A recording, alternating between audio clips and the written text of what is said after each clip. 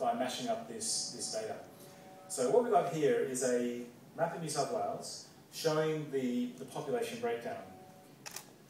So what we've got is for each of these local government areas, we've got the stats out of the census on the age and sex of the people in this example. So towards the bottom of the screen is young people, top of the screen is old people, left is male, right is female. So that's the kind of information that we're providing out of the box in this website. Where it gets interesting is if we zoom in round to say Sydney, we can start to see some interesting trends, I guess, in the, in the population. If we go further northwest out of the city, what we typically tend to see is that there is a lot of young people, so um, children, teenagers, people in their 20s that are still at school. But as soon as people get a bit older, you can see here in their you know, 20s and 30s, they disappear.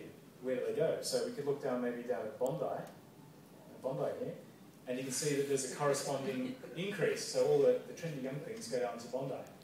I reckon for, for school classes, that could be a lesson in itself, just spending a whole day talking about why do people move away from the country and into the city. We've got stats from Department of Housing, so one of the top